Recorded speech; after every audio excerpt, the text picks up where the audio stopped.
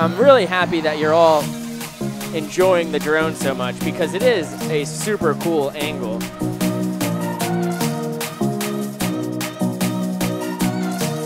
And I tell you what, as much as Banana fans may not have liked seeing a run score for the Bacon, it was pretty cool seeing it on a drone.